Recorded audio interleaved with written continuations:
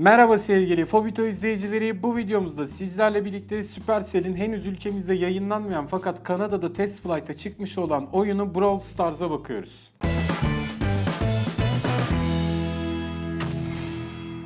Evet arkadaşlar oyun ilk açılışta sizi bu tarz bir ekranla karşılıyor. Neredeyse şu Clash Royale'in aynısı diyebilirim ekran yapısı için. Şuradan Combat'a girebiliyorsunuz. Gelin direkt bir savaşa girelim. Brawl olsun. Dynamic'le oynayalım. Bulsun. Evet oyuna girdiğiniz zaman da bu tarz bir platformdasınız. Artık her şeyden farklı olarak kahramanınızı sağa sola yönlendirme yapabiliyorsunuz. Normalde biz bırakıyorduk askerler gidiyordu ya. Karşıda bir birlik var. Biraz geriden gelmek istiyorum. Şuradan sol açıktan bir shot. Dinamitler atıldı ortama. Ama anladık ki dinamitler hemen patlamıyor. Demek ki ayık olacağız. Ama burası bizim base arkadaşlar.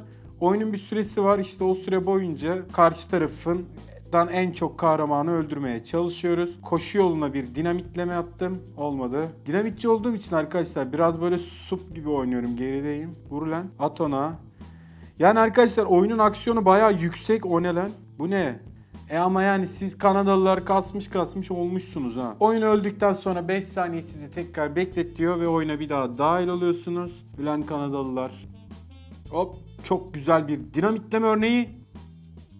Çok güzel bir dinamitleme örneği. Bir ara bir bağlantı problemi yaşadık arkadaşlar. Oyun şu an muhtemelen yapısından kaynaklı. Adamla yan yana koşuyormuşum. Düşmanla kimse de söylemiyor. At. Düşman düşman değil ki hacı. Bu ne ya? 4 saniye kaldı. Şurada bir scoreboard var arkadaşlar. Bu scoreboardda scoreboardda topladığınız ya adam öldükçe sağ sola elmas düşüyor. Onlar yazıyor. Şu an karşı takım değil o biz. Ya kardeş sen bak bana çok büyüksün ya. Git ya. Dinamit dinamit dinamit. Ha buraya atamıyormuşum. Kırmızı veriyor dinamit.